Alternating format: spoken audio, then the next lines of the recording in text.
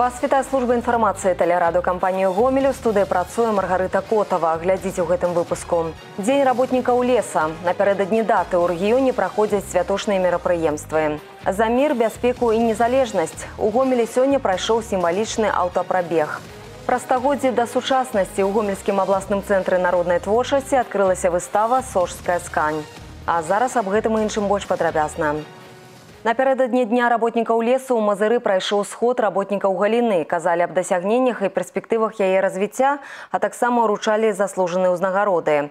Нашы карэспандэнты з падрабязнасцямі. Для правядзення ўрачыстага сходу абралі мазырскі драматычны тэатр. Нядаўна тут завяршылася маштабная рэканструкцыя і цяпер гэты будынак можна выкарыстоўваць не толькі як установу культуры, але і для правядзення ўрачыстых мерапрыемстваў. У работнікаў лясной галіны праводзіць святочны сход менавіта ў гэтай зале ёсць усе падставы. Нягледзячы на праблемы, звязаныя з эпідэмічнай сітуацыяй у свеце і як следства спынення рынкаў, беларускія лесаводы паспяхова выконваюць праграму беларускі лес і паляпшаюць фінансавыя паказчыкі паказчыкі настолькі што могуць праводзіць мадэрнізацыю вытворчасцяў і набываць новую тэхніку делаем ставку на э, развитие автопарка э, многооперационной техники для того чтобы э, выполнять лесозаготовительные работы буквально в прошлом месяце у нас пришел был закуплен по лизингу харвестером кадор 2551 для проведения рубы главного пользования за шматгадовую добрасумленную працу і высокі прафесіяналізм. Лепшыя з лепшых у гэты дзень атрымліваюць заслужаны ўзнагароды гомельскіх аблвыканкама і абласнога савета дэпутатаў, міністэрства лясной гаспадаркі, ляснічы, інжынер, кіраўнік лясгаса, майстар па пагрузцы вагонаў. Нельга сказаць, што ў галіне сёння няма праблем, прычым у пераважнай большасці яны звязаны са змяненнем клімату, але дзякуючы намаганням гэтых людзей лясная гаспадарка не толькі шукае новыя падыходы да работы ў сучасных умовах, але і развіваецца. У сялякім выпадку дасягнутыя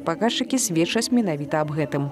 Я вам скажу честно, лесохозяйственное предприятие развивается эффективно у нас. И самое главное то, что те э, наши угодья, которые мы вырубаем, которые подошли к уже зрелые леса, и сразу же активно идет высадка леса. В текущем году это было весной, сейчас осенью будет продолжаться данная тема и находится на контроле не только лесохозяйственного исполкоме в целом государстве. Я выражаю слова благодарности всем нашим работникам, лесохозяйственных ветеранам и желаю им всего на лучшего, на благо нашей Республики Беларусь.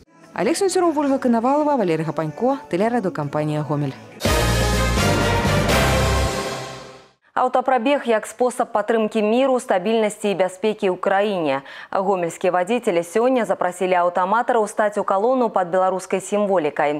Да ўдзельнікаў акцыі далучылася і наша здымачная група. Дзясяткі машын з дзяржаўнай сімволікай сабраліся за тэрыторыяй горада. Арганізатары акцыі звычайныя гамяльчане, якія вырашылі такім чынам выказаць сваё меркаванне. Умова ўдзела ў прабегу не закрываць нумары, уключыць святло і не сігналіць. Арганізатары і ўдзельнікі азначаюць, што такім чынам яны хочуць паказаць адзінства беларускага народа і яго згуртаванасць. Яны спадзяюцца, што атрымаецца не дапусціць расколу ў грамадстве. Мы активно участвуем, начиная с 10 числа, э, поддерживаем курс, э, постоянно э, мониторим, что происходит в нашем городе, готовы всегда в необходимый момент выйти, поддержать морально, физически, своими делами Э, мы за единую Беларусь, мы за порядок. Маршрут удзельнікі праклалі такім чынам, каб закрануць асноўныя вуліцы абласнога цэнтра. Іліча, плошчу Леніна, савецкую. Фінальная кропка аўтапрабегу брацкая магіла воінаў, якія загінулі пры вызваленні Гомеля. Тут удзельнікі акцыі усклалі кветкі да мемарыялу і ушанавалі памяць тых, хто загінуў. Вы знаете, в нашем красивом благоустроенном городе очень много захоронений и памятных мест, э, которые необходимо посещать в различные праздники.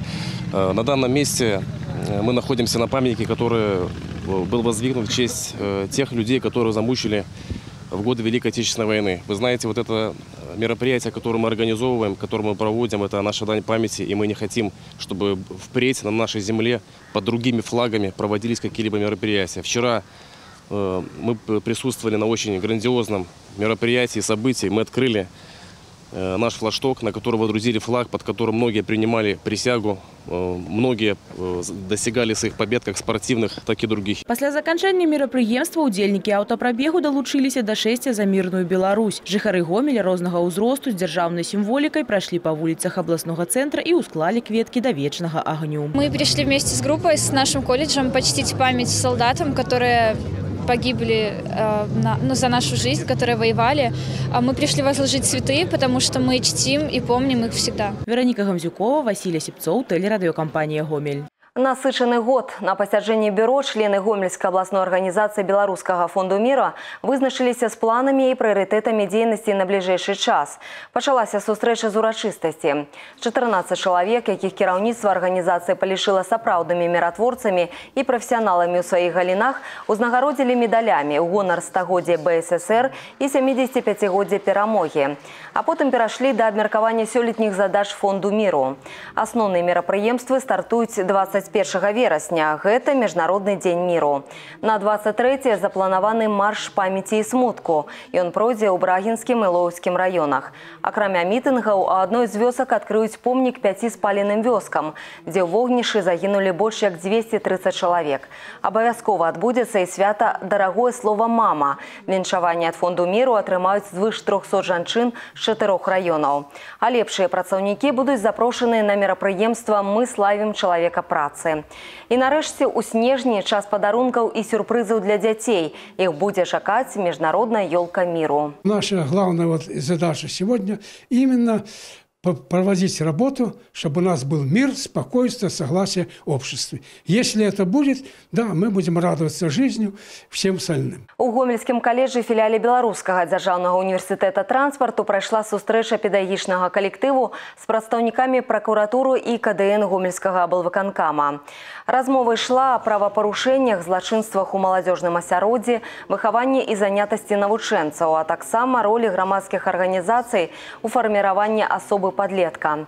Нягледзячы на тое, што ў рэгіёне назіраецца зніжэнне падлеткавай злачыннасці, па выніках 8 месяцаў гэтага года імі здзейснена 206 пазапраўных дзей.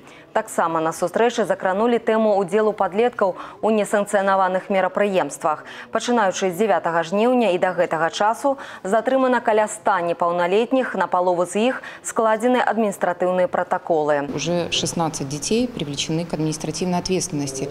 Привлекаются они как э, к штрафу и к предупреждениям. Семь родителей, которые э, Э, не выполнили обязанности по воспитанию детей, выразившиеся в том, что их дети принимали участие э, в этих массовых мероприятиях, также привлечены к ответственности. Причем э, пятеро из них привлечены к ответственности в виде штрафа 10 базовых величин. Хотелось бы обратить внимание на то, что это детки, которым было где-то по 14 лет. И они пошли в толпу туда, где взрослые, там и пьяные были, и все. И как бы родители даже не знали, что дети их там находятся. А кроме того, распашаты три криминальные кримінальныя справы ў дачыненні да непаўналетніх, якія ўдзельнічалі ў масавых мерапрыемствах. Адзін хлопец кідаў бутэлькі з запаленай сумесю, іншыя дзеці закідвалі машыны міліцыі камянямі. Ракавая халатнасць. З пачатку года на дарогах краіны 10 дзяцей, які былі пасажырамі транспартных сродкаў, загінулі. 112 былі параненыя. Прыкладна палову дзяцей пераводзілі з парушэннем правілаў. Пры такіх жа абставінах у нашым рэгіёне траўміраваныя 17 дзяцей. Яшчэ адзін загінуў.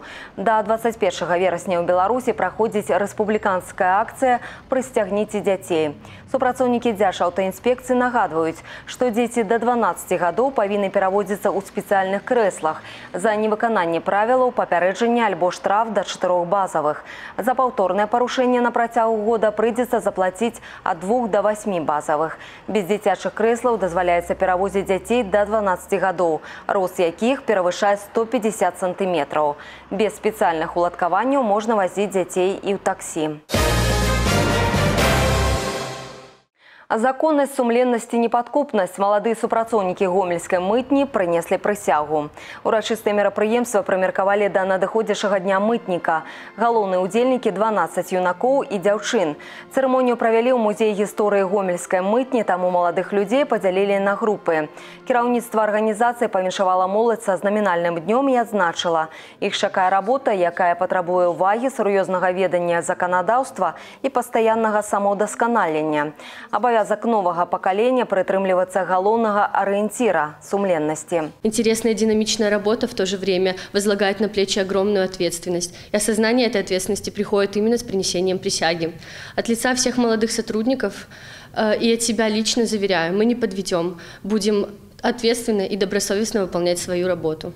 Прадаваць, здаваць у аренду на крайні выпадак зносіць. Гомельская вобласць па-ранейшаму ў лідарах па колькасці ўцягнення ў гаспадарчы абарот нерухомасці.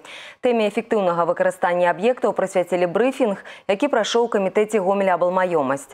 Задача на гэты год вырашыць лёс каля 340 будынкаў. 200 з іх альбо 60% ўжо прададзеныя ці знесеныя. Дарэчы, менавіта прадаць запланавана 45% будынкаў. Гэта значыць, яны застануцца ў інфраструктуры рэгіёна рэгіёна і стануць прыносіць прыбытак не толькі новым гаспадарам, але і бюджэту. Што тычыцца аварыйных, то амаль 80% з тых, што вызначаныя на гэты год, ужо знесеныя. Усяго за апошнія 12 гадоў цягнута ў абарот або знесена звыш 7 з паловай тысяч объектов. За последние 10 лет произошло перераспределение способов вовлечения в хозяйственный оборот. И э, основными подходами на сегодняшний день являются реальные способы. Это продажа, аренда, передача, потому что, например, раньше основным способом был э, снос, э, консервация, то есть э, просто устранение неликвидных объектов. Сейчас мы стараемся Э, использовать объекты в производстве, чтобы они приносили нам пользу. Ближайшие аукционы комитет Гомеля Абалмаёмаць правядзе 22 верасня и 8 кастрычніка.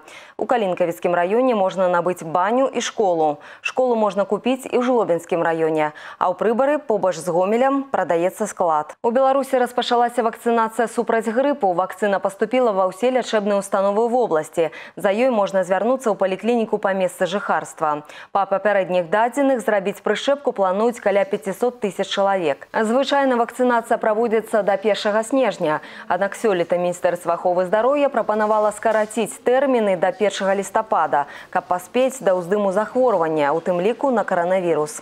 Бясплатна могуць прышапіцца людзі з хранічнымі захворваннямі і тыя, чыя дзейнасць звязана з абслугоўваннем насельніцтва. Настаўнікі, работнікі ЖКГ, міліцыі і прадстаўнікі некаторых іншых прафесій. Да канца наступнага тыдня запланавана пастаўка платнай вакцыны для грамадзян, якія не ўваходзяць у групы рызыкі. За счет республиканского и местного бюджета будет поставлена вакцина э, гриппол российского производства.